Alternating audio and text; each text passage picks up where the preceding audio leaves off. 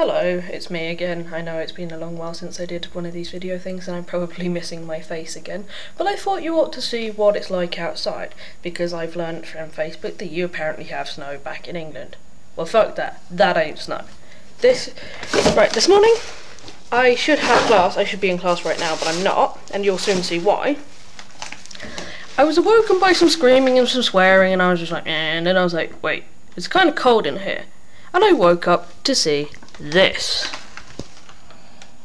You probably, oh man, you can't see it, but it's it's snowing pretty bad. As in, when I went for my shower just now, the um, cleaning staff had left the window open so that it didn't steam up when people were having showers, and there was snow coming in through the window. So yeah, I have my travel clinic appointment this afternoon. I rang them up. They are still still operating. So I've got to find a bus that's working, which could be entertaining. I've just read on the internet that uh, a lot of people are having to take extra buses because the SkyTrains keep getting frozen and getting stuck. So they're having to take the bus instead.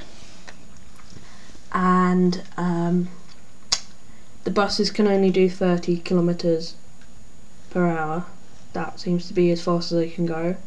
They're not coping well with the hills, and guess what? Vancouver's a hilly city. It's in mountains.